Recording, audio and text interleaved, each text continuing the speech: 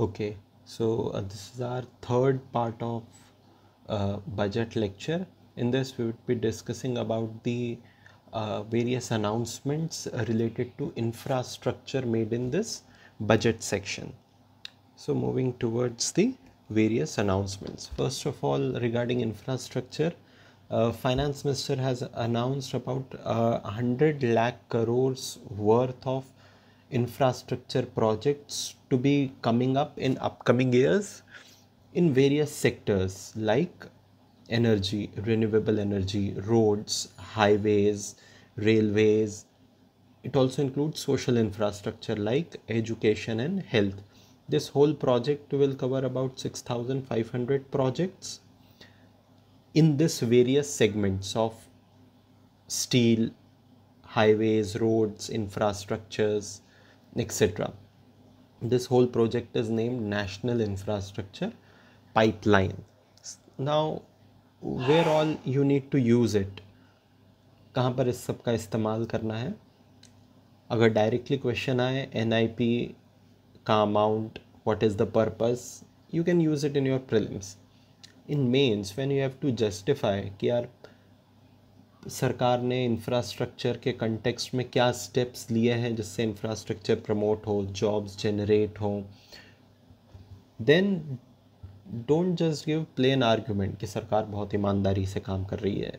अठारह घंटे सरकार जाग कर काम कर रही है, सोती नहीं है। This won't give marks right about concrete points कि 103 लाख करोड़ का नेशनल इंफ्रास्ट्रक्चर पाइपलाइन सरकार ने अनाउंस करा है। so you can see on your screens the various uh, timelines and dates and figures. दूसरा इंफ्रास्ट्रक्चर में जो सरकार ने अनाउंस करा है वो है national e logistic policy government is going to announce logistics deals with movement of goods specially with the coming up of GST there is lot of movement of goods क्योंकि अब एक राज्य से दूसरे राज्य में व्यापार करना इज़ एज गुड एज एक राज्य के अंदर ही व्यापार करना। तो we in future are expected to see a large increase in interstate movement of goods और जब इंटरस्टेट मूवमेंट गुड्स का होगा तो इसको एक बहुत अच्छी अपॉर्चुनिटी की तरह हार्नेस करा जा सकता है नए एम्प्लॉयमेंट जनरेट करने के लिए, जैसे say Madhya Pradesh. So Madhya Pradesh is at the central location.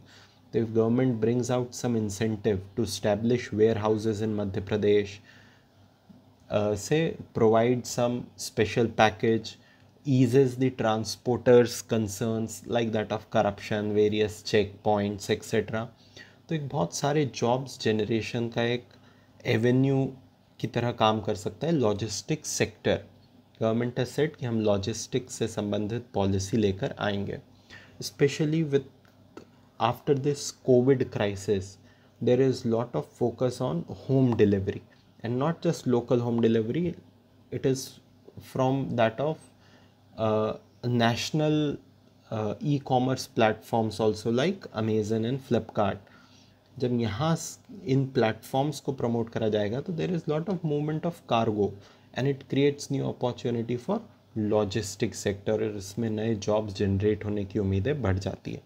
That's why government has set की एक पूरी पॉलिसी लेकर आएँगे जिससे इस सेक्टर को बढ़ावा दिया जा सके। To clarify roles of union government state government and key regulator की लॉजिस्टिक में केंद्र सरकार, राज्य सरकार क्या रोल अदा करेगी ताकि दोनों के बीच में कॉन्फ्लिक्ट ना हो। Single window e logistic market to be created जो भी परमिशंस हैं लॉजिस्टिक सेक्टर से कोरियर्स की, या मूवमेंट की गुड्स की, वो जहाँ तक हो सकेगा सिंगल विंडो अप्रूवल के थ्रू प्रोवाइड करी जाएगी। सिंगल विंडो मतलब आपको पाँच डिपार्टमेंट के पास नहीं जाना है, कि पहले रेलवे के पास गए, फिर रोड्स के पास गए, फिर शिपिंग के पास गए और अप्रूवल्स लिए। नो सरकार ने ऐसा प्रपोज करा है कि हम एक सिंगल विंडो बनाएँगे जहाँ पर इंटीग्रेटेड अप्रूवल, बस एक अप्रूवल से आप अपने सारे मूवमेंट गुड्स के कर सकते हैं। नेक्स्ट इज़ हाईवे हाईवे के कंटेक्स्ट में गवर्नमेंट हैज़ अनाउंस कि 2500 kilometres of access control highway would be created access control means you might have heard expressways, like most famous, you might have heard mumbai pune expressway, या दिल्ली गुड़गांव दिल्ली नोएडा ये expressways means there is access control एक बार आप enter हो गए तो एक fix point से ही आपकी एंट्री होगी और एक फ़िक्स पॉइंट से ही आपका एग्ज़िट होगा। जब इस तरीके के रोड के कंस्ट्रक्शन हो और उनका मैनेजमेंट हो रोड पर इस तरीके से एंट्री एग्ज़िट पॉइंट्स फिक्स्ड हो तो उससे speeds can be managed you can run on very high speeds and cover distance long distance in short short period are known as expressways या फिर इसे बोलते हैं access control highways so government has set कि ढाई हज़ार access control highways would be constructed nine thousand kilometres of economic corridor इस तरीके के हाईवेज होंगे जिनके इर्द गिर्द इकोनॉमिक एक्टिविटीज़ को प्रमोट करा जाएगा. Maybe some industries would be set up maybe M S M Es would be set up X Y Z तो कुछ इकोनॉमिक कॉरिडोर्स बनाए जाएँगे 9000 किलोमीटर के।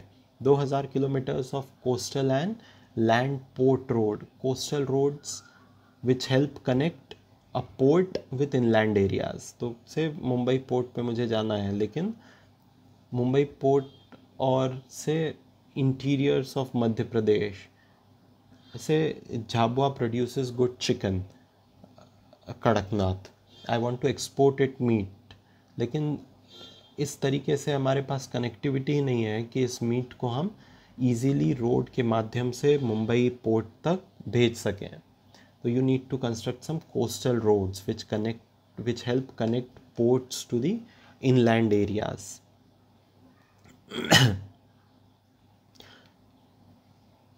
200 2000 kilometers of strategic highways. Strategic highways means those highways which are important from uh, national security point of view, like the face of we are seeing in, say, ladakh dolat beg oldie अब यहाँ पर अगर if you don't create highways तो heavy artillery movement जो army को चाहिए you won't be able to do it और आपका एक सिक्योरिटी कंसर्न क्रिएट हो जाता है। That's why in this budget government has targeted कि 2000 किलोमीटर का स्ट्रेटेजिक हाईवे कंस्ट्रक्ट करा जाएगा।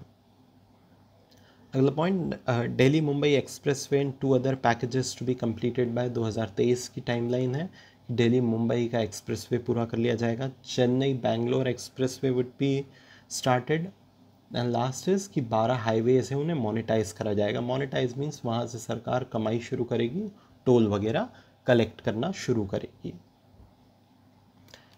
Next is Indian railways Indian railways के कंटेक्स्ट में the important announcement are railway has a large linear land may be one of the largest land holders in India is railways it is not as per one report in Hindu, it is not defense, it is railways which hold the largest amount of land property in India. And India is a tropical country, तो almost every part of India bearing a few exception gets 365 days of sunshine आपके पास भूमि भी है sunshine भी है what you can use it you can use it for solar electricity generation this is what railway has targeted in this budget कि along the track solar plants would be established एक बार solar plant establish हो गया तो इससे आप फिर electricity generate करिए और ख़ुद इस्तेमाल करिए। तो next announcement in this budget is कि लगभग uh, जो करंटली सत्ताईस हज़ार किलोमीटर का ट्रैक इलेक्ट्रीफाइड हो चुका है, इसे और मल्टीफोल्ड कई गुना बढ़ाया जाएगा with this electricity generated through solar panels along the railway tracks जो स्टेशंस हैं, उन्हें पीपीपी मॉडल पर डेवलप करा जाएगा और Tejas you might have of Tejas trains so more Tejas type of trains would be run the pet project of this government इस सरकार का एक बहुत पसंदीदा प्रोजेक्ट है Mumbai Ahmedabad railway track to be converted into metro connectivity so government has set कि ये जो मुंबई अहमदाबाद की कनेक्टिविटी है specially with regard to metro इसको और तेज़ी से आगे बढ़ाया जाएगा। कुछ प्रोमिनेंट अचीवमेंट हाईलाइट करें हैं। रेलवे ने 550 वाईफाई फैसिलिटीज़ जनरेट हो गई हैं स्टेशंस पर। वन प्रोमिनेंट अचीवमेंट इज़ कि अब कोई भी भारत में अनमैंड रेलवे क्रॉसिंग नहीं है मतलब मानव रहित रेलवे क्रॉसिंग अब नहीं है, या तो रेलवे ने वहाँ पर अंडरपास बना दिया है या ओवरपास बना दिया है। तो it is a great achievement officially at least there is no unmanned railway crossing now ये जो रेलवे क्रॉसिंग अनमैंड थे, जहाँ पर मानव नहीं थे और फिर एक्सीडेंट होता था रेलवे क्रॉस हो रही है, या तो हाथियों का झुंड आ गया, या कोई ट्रक आ गया एक्स वाई से ये एक मिशन के तहत पूरा गया करा गया है, इसे कहा गया है मिशन ज़ीरो एक्सीडेंट, कि कोई रेलवे क्रॉसिंग मानव रहित नहीं होगा। और सत्ताईस हज़ार किलोमीटर के ट्रैक को रेलवे ने इलेक्ट्रीफाई कर दिया है। तो these are some prominent achievement of railways लेकिन इन अचीवमेंट के साथ एक कंसर्न भी उभर कर आया है रेलवेज़ में, वो है रेलवे का ऑपरेटिंग रेशो रेलवे का ऑपरेटिंग रेशो मतलब सौ रुपये की कमाई करने के लिए रेलवे कितने रुपए खर्च करता है? अपनी स्क्रीन्स पर आप देख पा रहे होंगे कि शायद रेलवे के इतिहास का सबसे worst operating ratio currently railway run कर रहा है 98 के आसपास। मतलब सौ रुपये अगर रेलवे को कमाने हैं तो उसके लिए रेलवे को 98 एट रुपीज़ स्पेंड करने हैं। This is very poor operational efficiency सौ रुपये कमाने हैं मतलब 98 एट रुपीज़ सैलरी पेंशन वो जो थर्ड और सेकंड फ़र्स्ट ईयर की बेडशीट्स रहती हैं उनकी धुलाई के खर्चे डीजल कोयला कोयले के इंजन सब नहीं चलते डीजल और बिजली का खर्चा इलेक्ट्रिसिटी का खर्चा रेलवे स्टेशंस की आ, जो रेलवे का मेंटेनेंस है उसका खर्चा तो जब सौ रुपये रेलवे कमाता है तो इन सभी चीज़ों पर नाइन्टी एट रुपीज़ खर्च कर रहा है बहुत ही पुअर बिज़नेस मैनेजमेंट है। रेलवेज का one of the words railway has seen in its years of existence this is what is you can see a graph also here कि कहाँ 1950 में 81 से शुरू हुए थे और करंटली फ़िज़िकल ईयर 18 में 98.4 is the operating ratio of railways operating ratio measures the expenses as a proportion of revenue मतलब आपका जो रेवेन्यू आ रहा है, उसका कितना प्रतिशत आपने खर्चा कर दिया। Railway has recorded operating ratio of 98.44 which means that railway spends 98.44 rupees to earn rupees hundred next is port and waterways इस पर क्या अनाउंसमेंट है? सबसे पहला कि सरकार ने कहा है कि एटलीस्ट एक और मेजर पोर्ट को कॉरपोरेटाइज करा जाएगा। Corporatize means you can understand कि उसे कंपनी के तौर पे तब्दील करा जाएगा।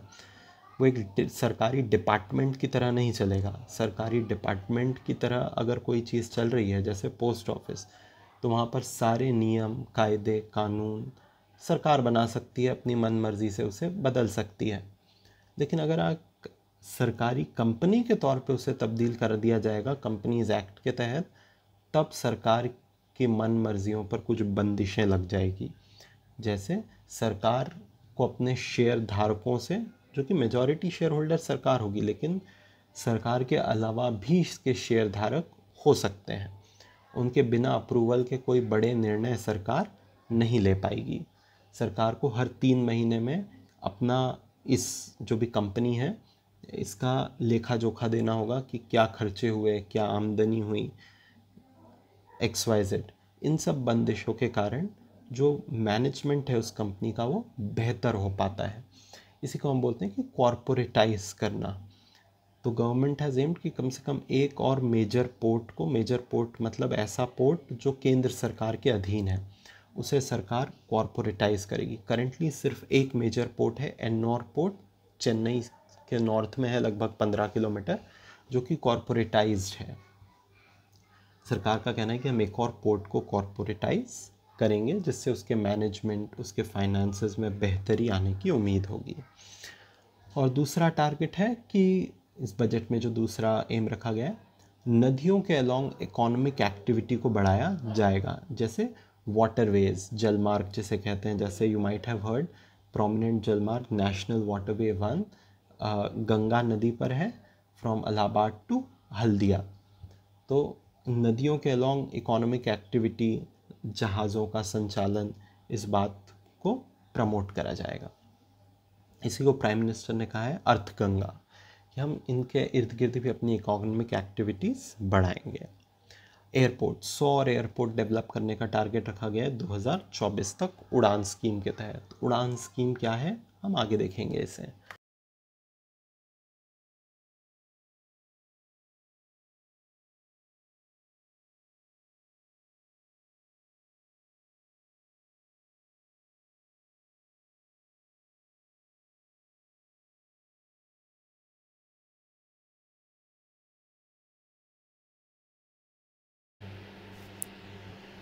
और लास्ट है इंटरनेट कनेक्टिविटी पर जो फाइनेंस मिनिस्टर ने अनाउंस करा है कि इंटरनेट कनेक्टिविटी को बढ़ाया जाएगा।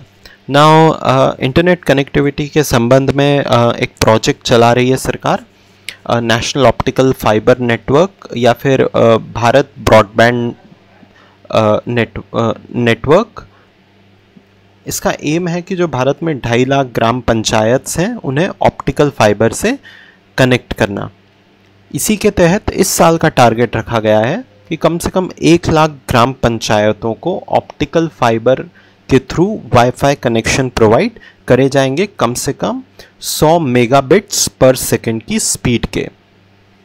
इसे जो इम्प्लीमेंट कर रही है कंपनी उसका नाम है भारत ब्रॉडबैंड नेटवर्क लिमिटेड ये कंपनी कंपनीज़ एक्ट के तहत रजिस्टर्ड है as a special purpose vehicle special purpose vehicle is a sort of a company which is has which has a provision under companies act इस project के लिए finance minister ने 2000 करोड़ का अनुमानित allocation करा है पूरे प्रोजेक्ट के लिए। इस साल जो अलोकेशन हुआ है वो है 6000 करोड़ का। और ये पैसा कहाँ से आता है? ये पैसा आता है यूनिवर्सल सर्विस ऑब्लिगेशन फंड से। नाउ व्हाट इज़ यूएसओ जो प्राइवेट टेलीकॉम कंपनीज़ हैं, उनके ऊपर ऑब्लिगेशन है लाइसेंसिंग जो उन्हें प्रोवाइड करी गई है, वह four G three G spectrum की। उसके तहत उनके ऊपर ऑब्लिगेशन है कि वो एक फिक्स्ड अमाउंट की राशि भारत सरकार के टेलीकॉम मिनिस्ट्री के पास जमा कराएँगे, जिसका इस्तेमाल ये टेलीकॉम मिनिस्ट्री इंटरनेट पेनिट्रेशन या टेलीकॉम पेनिट्रेशन को बढ़ाने के लिए करेगी। तो ये जो राशि private telecom operators have been depositing every year उसका एक बड़ा फंड जमा हुआ है। इस फंड से अब national optical fibre network project implement हो रहा है, जो कि ग्राम पंचायतों में वाईफाई कनेक्टिविटी प्रोवाइड करने को एम करता है। So this is about all the infrastructure related announcements made in this budget